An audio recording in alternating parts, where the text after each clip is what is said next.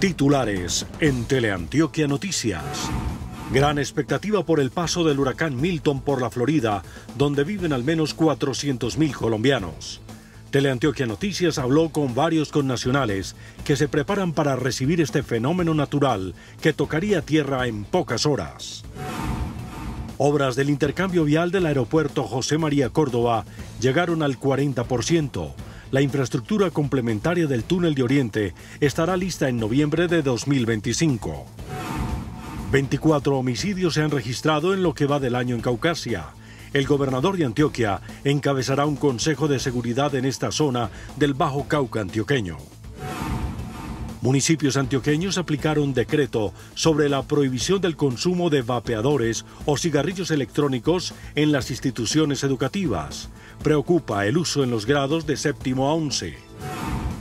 Alertan por el posible aumento de casos de virus sincitial respiratorio en niños menores de dos años. El fenómeno se presenta por la temporada de lluvias que atraviesa Colombia. Autoridades restringen el acceso a uno de los cerros del páramo de Sonsón.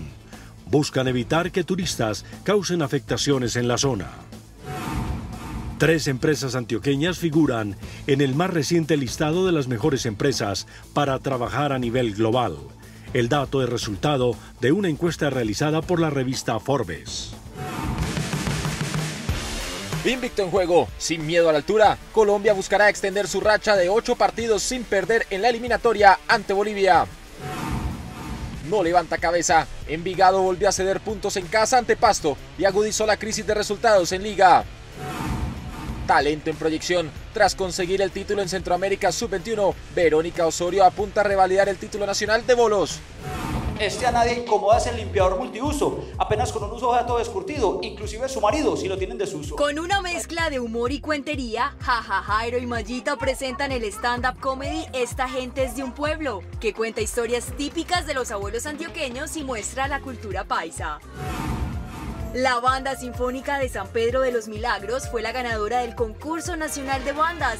También recibió el premio al mejor arreglo del bambuco Río Claro.